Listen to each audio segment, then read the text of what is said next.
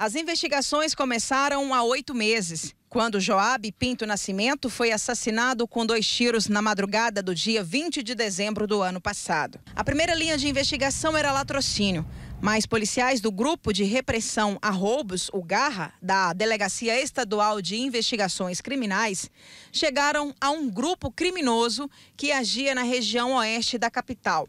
Logo, os policiais descobriram que Joab foi morto por um acerto de contas com traficantes do grupo, o qual ele também fazia parte. E essas informações acabaram levando à identificação de várias pessoas que estavam praticando crime de tráfico de drogas naquela região. Nosso foco da DEI, que obviamente não é, é, investigar tráfico, porém a gente reprime, Polícia Civil é sempre Polícia Civil, tem que reprimir crime e por isso nós acabamos prendendo todos os envolvidos na morte do Joab e nos crimes conexos que foram descobertos. O grupo é suspeito de tráfico, associação ao tráfico, posse ilegal de armas de fogo, roubos e homicídios em Goiânia, Trindade e Aragoiânia. Dentre os presos está o assassino do Joab, que confessou o crime e entregou a pessoa que cedeu a arma usada no assassinato.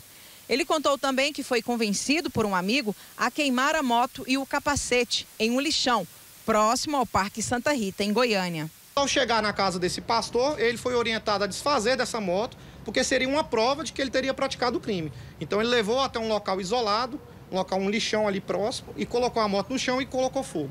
Os dois suspeitos também são investigados por tentativas de homicídios. Na operação, policiais apreenderam duas armas de fogo, munições de vários calibres, carregadores de pistola, porções de maconha e cocaína, balança de precisão, diversos aparelhos celulares e quase 11 mil reais.